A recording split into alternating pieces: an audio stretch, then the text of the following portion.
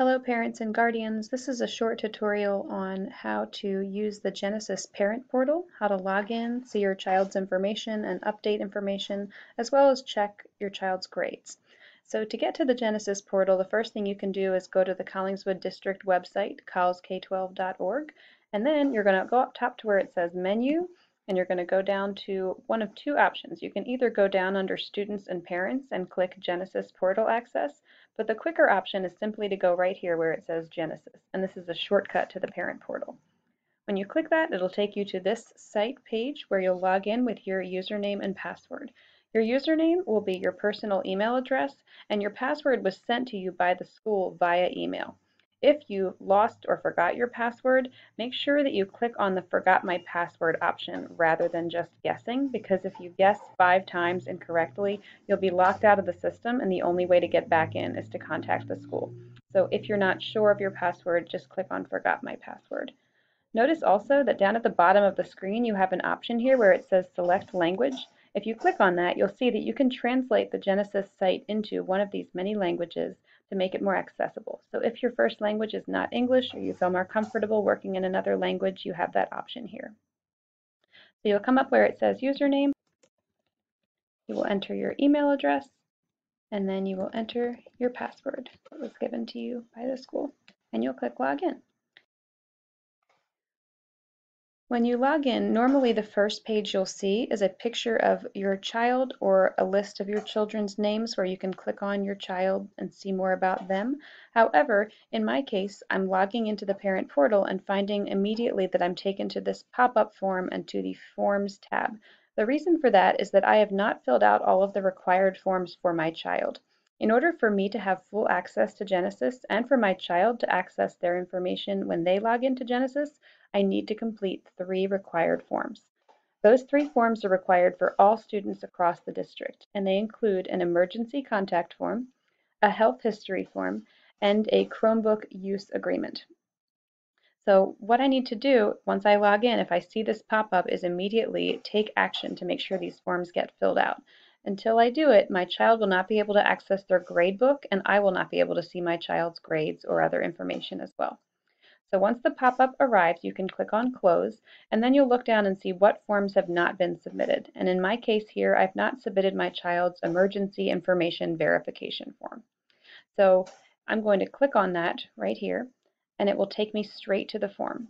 Now this form can be filled out completely online, so you can go through, you can fill out, for example, do you give your child to go on a walking field, permission to go on a walking field trip? Are they okay for, is it okay with you if their photographs are used for school related media? Do they have permission to receive counseling from the school? So you can go through, check all these items, check off what's okay and not okay with you.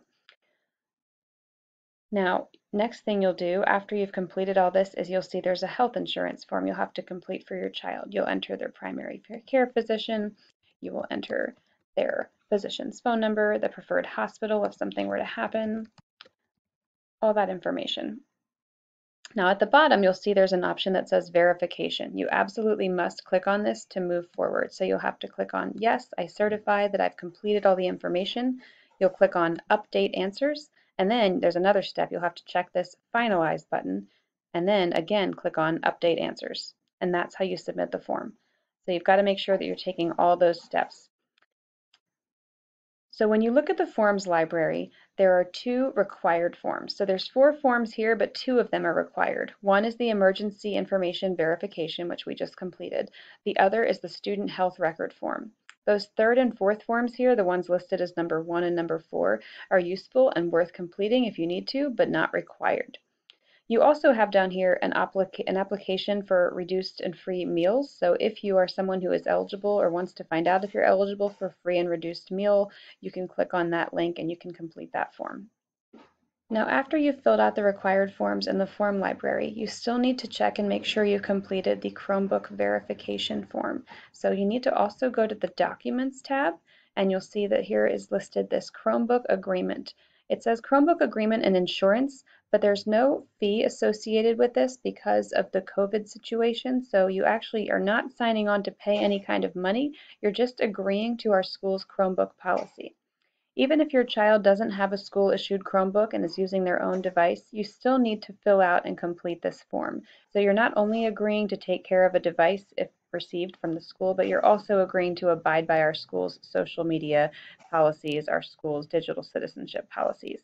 So to complete this form, you click on the form itself to view it. Now know that if you click on the form, it actually will navigate you away from the Genesis site, so it'll open up a this tab, but it actually takes you away from Genesis. So after you've reviewed this form, made sure you're okay with everything, you can use the back button to go back to Genesis, and then you'll click here on the green button that says acknowledge that you have read this document. Once you've clicked that, you then have to type yes. So it takes you through a few steps to make sure you've really done what you were supposed to do. You'll then click on confirm, and now that form is listed here as digitally signed. The next step you can do now is you can access anything you want in this child's Genesis, in your child's Genesis.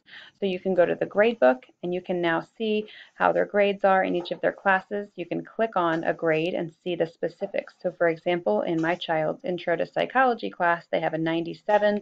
I can open that up and I can look and see with specific assignments that the child has completed and how they've done.